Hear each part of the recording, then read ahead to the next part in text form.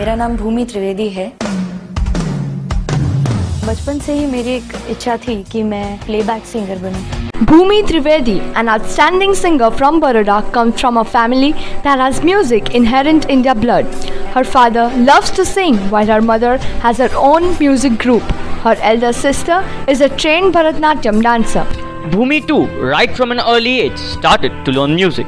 She has participated in many school and college level music competitions. Bhoomi, along with her sister and mother, are regular performers at the Navratri events. Singing runs through her veins. She had auditioned for the Indian Idol 3rd and 4th and even got selected, but unfortunately, she had to quit both these opportunities, once due to illness and other on an account of personal crisis. She was once again back on the screen of Indian Idol 5. Her perseverance and never give up attitude made her rise to the top 5 finalist position. Bhoomi Trivedi thus fascinates all her audience as well as judges with her spellbound and versatile performances. Her unique mix of Gujarati hip hops and raps is a remarkable legend on the Indian television so far.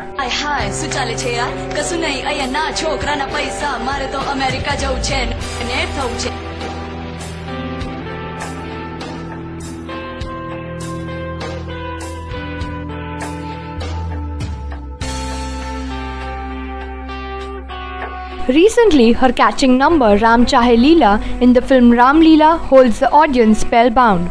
Bhoomi Trivedi, an owner of exceptional voice quality, good looks, and a pretty smile, is indeed an uprising playback singer. We avians wish her all the best for all her future endeavors.